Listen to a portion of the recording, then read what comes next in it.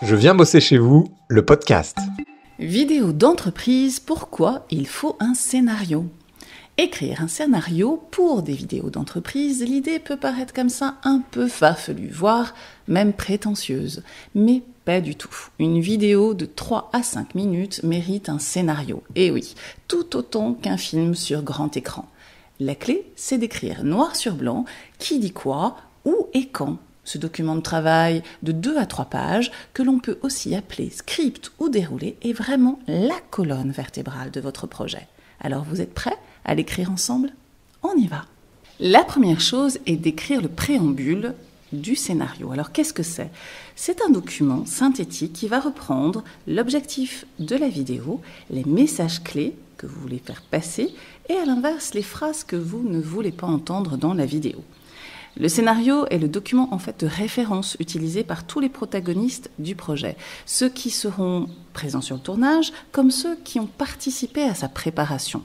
Tout ce qui est important doit être indiqué de manière ultra synthétique. Avec le préambule, vous préparez déjà le déroulé de la vidéo en écartant tout ce que vous ne voulez pas dire ou entendre. L'objectif de la vidéo, à vous de le définir dans ce document. Qu'est-ce que vous cherchez à résoudre ou à améliorer en créant cette vidéo ou ce podcast. Quand vous doutez sur le contenu du scénario, ce qui arrive, revenez à cet objectif, ça va vous aider. Les messages clés, vous en choisissez trois maximum, pas plus. Hein. Ils devront être euh, transmis, bien sûr, euh, à tous les protagonistes. Euh, ça doit être un message soit porté par une personne, soit des messages transversaux. À vous de choisir. Et bien sûr, il y a ce que je vous disais tout à l'heure, indiquer les phrases et les termes que vous ne voulez pas entendre. Cette zone rouge doit être connue de tous. Elle est à mentionner dans le document du scénario et dans ce préambule afin que tout le monde l'ait en tête. Après le préambule, il faut raconter une histoire. Oui, mais laquelle? On ne peut pas tout dire dans une vidéo de 3 à 5 minutes, vous vous en doutez. Le fil rouge, c'est l'histoire que vous allez raconter, avec un début, une fin, ça c'est simple, et des rôles clairs pour chacun des personnages. Celui ou celle qui présente l'entreprise, par exemple, ou la personne qui explique son métier. Un personnage qui joue son propre rôle sera plus convaincant, alors choisissez des personnalités qui vont surtout s'exprimer avec authenticité. On en a parlé tout à l'heure. En fait, le plus naturellement possible. Et c'est pas forcément les gens les plus loquaces au quotidien qui vont se révéler. Une histoire, c'est de l'intrigue, des surprises et même du suspense. Alors faites appel à votre créativité. Les anecdotes et le vécu doivent tenir en haleine. On n'est pas dans un catalogue d'éléments de langage, on est beaucoup plus ouvert. Après l'histoire, construisons ensemble la structure du scénario, qui se compose de scènes et de dialogues. Alors une scène est une séquence vidéo qui se filme au même endroit. Vous pouvez avoir 3-4 scènes pour une vidéo de 3 à 5 minutes. Elle se tourne dans des lieux différents, intérieur, extérieur, magasin, arrière-boutique, atelier de fabrication, laboratoire le lieu peut aussi être mobile, en prenant place dans un 33 tonnes par exemple, ou une camionnette de livraison, selon votre activité. Les images tournées pourront servir d'illustration au propos d'une interview filmée dans un endroit statique. Les dialogues, pour une vidéo d'entreprise, on vous conseille d'adopter la forme d'un échange entre deux personnes, plutôt qu'un monologue. C'est plus vivant quand même. Le scénario précise la question qui est posée à la personne interviewée, et là c'est facile.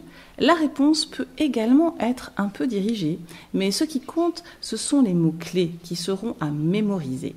Le but n'est pas d'apprendre une leçon et de la réciter, surtout pas, mais de s'assurer qu'à travers tout ce qui est dit, les messages passent bien.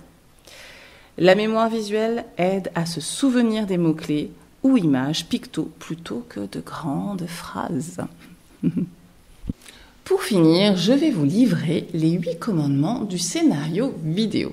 Alors, le premier, de tout dire, tu n'essaieras pas. En effet, tout ne pourra pas passer dans un temps record de 3 à 5 minutes lors de la vidéo.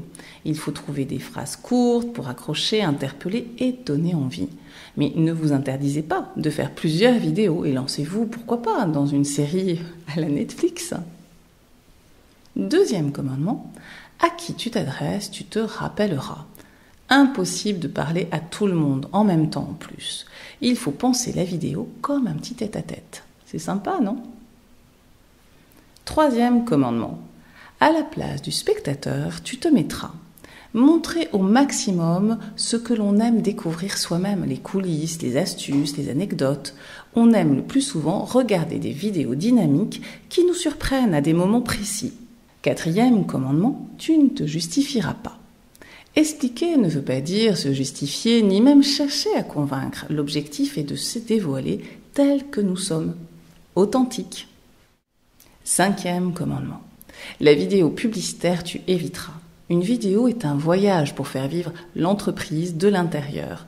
On aime découvrir ce qui se cache derrière une enseigne plutôt que de regarder des spots publicitaires. Sixième commandement, aux exemples et anecdotes, tu penseras. Plus on est concret, mieux on est compris, surtout de personnes à qui vous avez envie d'expliquer votre métier. Septième commandement, tu changeras de décor. Et oui, pourquoi? Chaque scène se tourne dans un endroit différent, de préférence des lieux qui ne se ressemblent pas, pour montrer toutes les facettes de votre entreprise et sa variété. Enfin, le huitième commandement, tu ne feras pas du scénario les tables de la loi.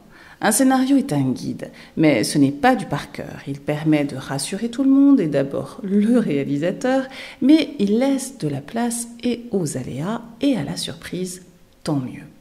Avant de construire le scénario, écrivez sur un post-it au-dessus de votre bureau cette citation de Nicolas Boileau.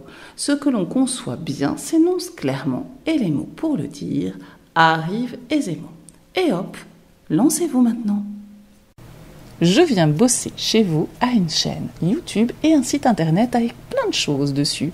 Et pas que des vidéos, des podcasts aussi. À très bientôt!